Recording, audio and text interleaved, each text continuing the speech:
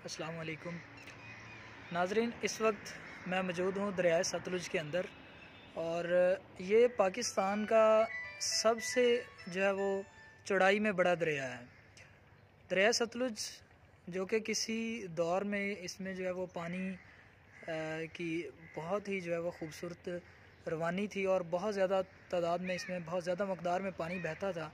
लेकिन आज इस दरिया की हालत देख के रोना आता है कि इस दरिया में इस वक्त बिल्कुल पानी मौजूद नहीं है। तो मेरे साथ मास्टर साहब मौजूद हैं। मास्टर साहब, बचपन से लेके जवानी तक और अब जवानी की मनाजिल तय करते हुए इस दरिया की मौजे, पानी की मौजों को देखते आ रहे हैं। तो आज हम इनसे कंप्लीट जो है वो इस दरिया की इंफॉर्मेशन लेंगे कि कब से मास्टर साहब जो है वो इस दरिया को देखना देखना शुरू किया और यहाँ पे कब से जो पानी की तादाद है वो कम होना शुरू हुई और इस वक्त आज वो एक ऐसा दिन है कि जिस दिन इसमें बिल्कुल भी पानी मौजूद नहीं है। तो आइए मास्टर साहब से हम जानते हैं। जी मास्टर साहब आपने तो एक वक्त गुजारा है इस जगह पे।